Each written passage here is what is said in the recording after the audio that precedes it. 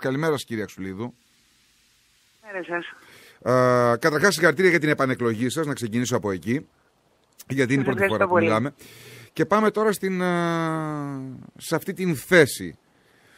Ε, να, να, να, να επιλέξουμε ένα πρόσωπο από την Εκκλησία για πρόεδρο της Δημοκρατίας.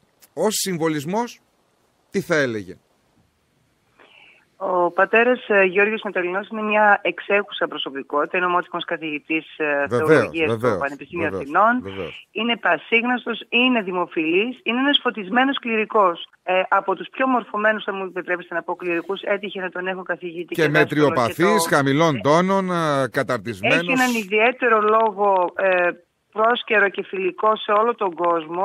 Ε, έχει τεράστιες γνώσεις, όχι μονάχα θεολογικές, θα έλεγα ευρύτερες κοινωνικές πολιτικές. Έχει τοποθετηθεί άπειρες φορές πάνω σε θέματα που αφορούν την Ελληνορθοδοξία και έχει χαρακτηριστεί ο φώτιος του 20ου αιώνα. Ναι. Είναι μια πολύ έτσι ευγενική μορφή, πραγματικά ένα πρόσωπο που θα ένωνε όλους τους Έλληνες. Εσείς είστε θεολόγος, οπότε έχετε και μια ιδιαίτερη ευαισθησία στα ζητήματα αυτά. Ε, αυτή η, η θέση σας την συζητήσατε τη θέση αυτή με τον ίδιο ή απλά την διατυπώσατε; Όχι, είναι μια προσωπική μου άποψη. Δεν έχουμε συζητήσει κανένα Γιατί ο ίδιος δεν νομίζω ότι ποτέ ε, έδειξε ότι θα μπορούσε ή θα ήθελε, θα επιθυμούσε να ασχοληθεί με την πολιτική. Uh, κυρία Ξουλίδου, γι' αυτό το, το θέτω. δεν νομίζω εγώ χθες ότι... στο Βήμα FM που μίλησα, ε, ρωτώντας με ε, εάν έχει συζητηθεί το πρόσωπο του κ. Αβραμόπουλου, είπα ότι δεν έχει συζητηθεί στην κοινοβουλευτική μας ομάδα κανένα πρόσωπο. Και αν ρωτάτε εμένα προσωπικά, η άποψή μου είναι ότι θα ήθελα ένα χώρο από, το, από την Εκκλησία. Ε, μην ξεχνάτε ότι και στην Κύπρο ε, ο Μακάριος έπαιξε σπουδαίο ρόλο στην πορεία της Κύπρου και στην ε, ανάκτηση της δημοκρατίας και της ελευθερίας της Κύπρου.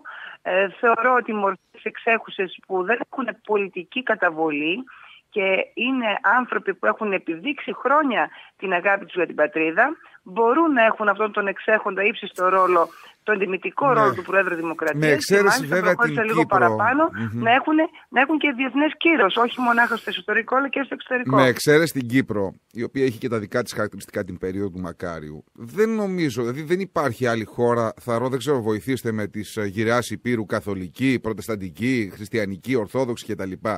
Η οποία να ενέπλεξε, δεν το λέω αρνητικά, ένα θρησκευτικό, ένα πρόσωπο από την Εκκλησία με τα προεδρικά αξιώματα.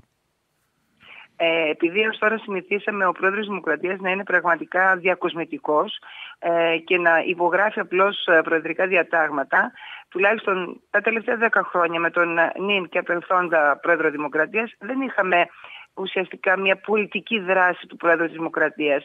Ήταν ο ανώτατος άρχον της ε, πολιτείας μας, αλλά από εκεί και ύστερα δεν είχε λόγος θα έλεγα πολιτικό ούτε στο εσωτερικό ούτε στο εξωτερικό. Ναι.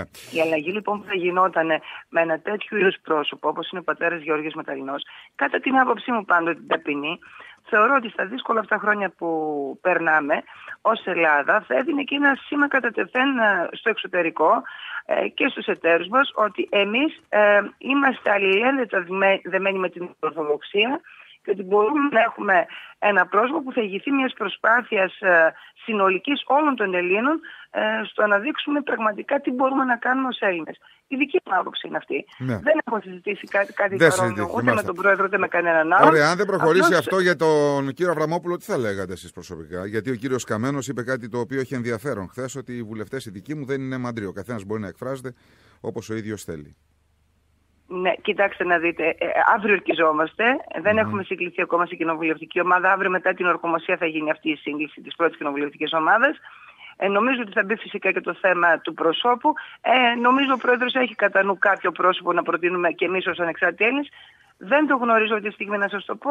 Θα βγει ανακοίνωση σε δελτίο τύπου ποιον θα προτείνουμε. Και κάτι εμείς. τελευταίο. Έπαψε να είναι κόκκινη γραμμή η διαγραφή του χρέους για τους ΑΝΕΛ η διαγραφή του χρέους έτσι όπως τώρα προτείνεται είναι ουσιαστικά το ίδιο και το αυτό.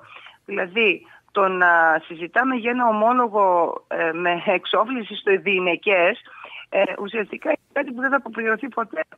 Και μάλιστα με ένα πάρα πολύ χαμηλό επιτόκιο, με 0,01 πόσο άκουσα να λένε. Ε, αυτή τη στιγμή λοιπόν αυτή τη σκληρή και αδιαπραγμάτευτη θέση που έχουν οι Ευρωπαίοι ε, στο να γίνει ένα κούρεμα ε, με το να συζητάμε ένα ομόλογο 100-200 χρόνων το οποίο δεν θα αποπληρωθεί ποτέ είναι το ίδιο και το αυτό, ισοδυναμεί με ε, κούρεμα. Ξέρετε κάτι, αγαπητοί μου κύριε Ξούλη, βέβαια θεολόγος είστε, αλλά ο κύριος Βενιζέλος προχθές έβαλε όλη τη χώρα στη θέση της με μία δήλωση ξεκάθαρη, γιατί μετά ρώτησα δύο ανθρώπους οι οποίοι το ξέρουν και μου λένε ότι έχει απόλυτο δίκιο. Το δημόσιο χρέος δεν αποπληρώνεται, ούτε διαγράφεται. Εξυπηρετείται. Δηλαδή, με τεχνικά εργαλεία, τεχνητά εργαλεία, τα οποία επιλέγει η εκάστοτε κυβέρνηση, το εξυπηρετεί σταδιακώ. Πάντα θα έχεις χρέος μπροστά σου.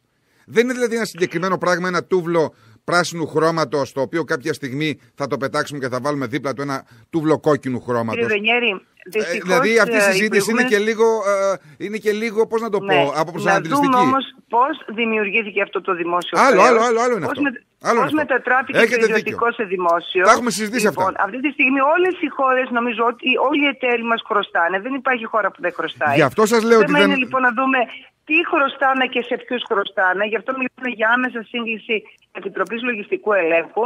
Κάτι που νομίζω θα γίνει αμέσως μετά την Άρα, έναρξη άρα η της Βουλής. ιστορία και το επιχείρημα και το σύνθημα και το σλόγγαν διαγραφή του χρέους ήταν μια πομφόλιγα η οποία έσκασε.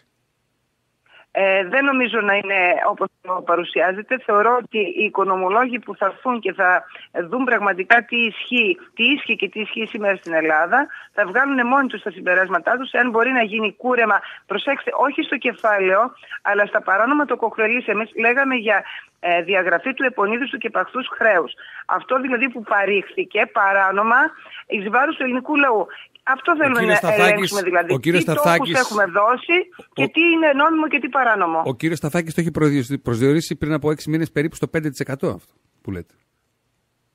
Ναι, ο κύριος Σταθάκης είναι ΣΥΡΙΖΑ, εμείς είμαστε ανεξάρτητοι Έλληνες, ο καθένας έχει την άποψή του. Ε, Η ηγεσία είναι. δεν Του Υπουργείου δεν Οικονομικών, ταυτιζόμαστε στην ηγεσία. με απόψεις μεμονωμένων στελεχών του ΣΥΡΙΖΑ. Ε, θεωρούμε ότι πρέπει να υπάρχει μια κοινή πολιτική γλώσσα και αυτή τη γλώσσα θα σεβόμαστε και θα ακούμε. Μάλιστα. Ωραία. Ε, κυρία Αξουλίδου, σας ευχαριστούμε πάρα πολύ. Και εγώ σας Να ευχαριστώ. είστε Καλή καλά. σας μέρα. Καλημέρα σας. Καλημέρα. Focus 103,6.